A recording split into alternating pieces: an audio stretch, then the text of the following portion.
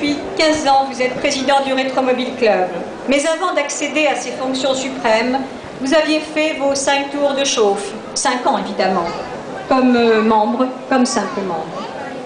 Nous vous connaissons tous ici. Et votre amicale présence, entourée de tous les fadas de vieilles carrosseries, est à vos côtés, est à nos côtés, chaque fois que la ville de Dreux célèbre une fête, une commémoration, sans parler des différents anniversaires divers et variés. Mais professionnellement, il faut que vous sachiez que ce président au long cours a d'abord été peintre-décorateur, avant de s'adonner à la câblerie pour la recherche pétrolière. Dire qu'il aime les vieilles voitures serait un euphémisme. Il en est fou. Mais le plus grave, c'est qu'il partage cette passion avec son épouse. Et l'un et l'autre bichonnent leur protégé. Une Cadillac pour monsieur, une traction par exemple pour madame, et sans vouloir vexer monsieur, je dirais que, Jean-Paul, vous êtes un sacré gros consommateur. Tout de même, 24 litres au 100, ça vous pose un homme. J'ai là un portrait. J'ai les preuves de tout ce que j'annonce.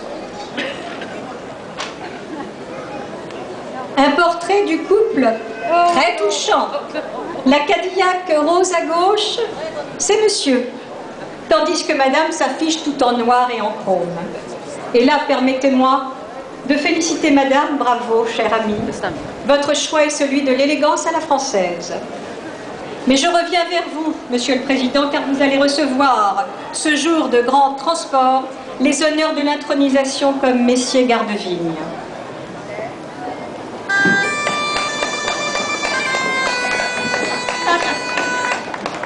La lâche pas comme ça.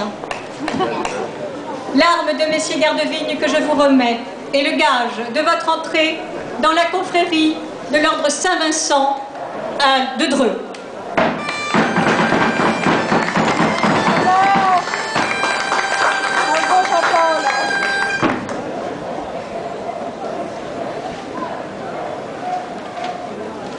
La photo, la photo. Ah oui, attends, je Ah oui, la photo, la photo.